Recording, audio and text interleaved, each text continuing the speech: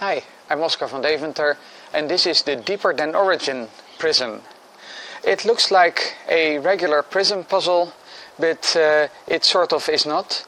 It's the simplest uh, of puzzles within the Bram sphere series of puzzles and if you want to know more about Bram sphere I suggest you look it up on the internet but uh, what's special about this thing is that we have the core here this is the core piece and there are two types of moves.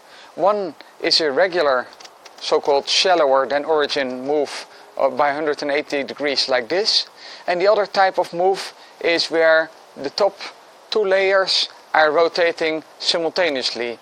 And this is a deeper than origin move. And of course here's another uh, normal move. But uh, the top layer um, it's connected to the bottom layer so they can't be uh, separated. So again here we have a deeper than origin move. So um, I've now explained to you a little bit about the deeper than origin moves. You may have heard this term from me before.